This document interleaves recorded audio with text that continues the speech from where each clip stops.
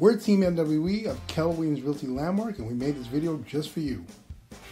Hey folks, how's it going? It's your favorite real team, Evan Saint-Gerard and, and Dean Graber. Dean, we have a lot of stuff going on in real estate right now. Give us an idea. What's going on with our listings right now? Okay, we have 20 listings right now. 14 of them are in contract, six are available. And we put three in contract just this week alone. Now, out of the, the three that are in contract, where were those lo located?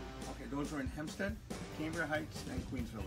So, as you can see, properties are moving quickly. Now, if you want a team that's going to put your house on the market and sell it quickly, who are you going to call? You see that? Thanks for watching our video. If you have any real estate questions, feel free to give either one of us a call.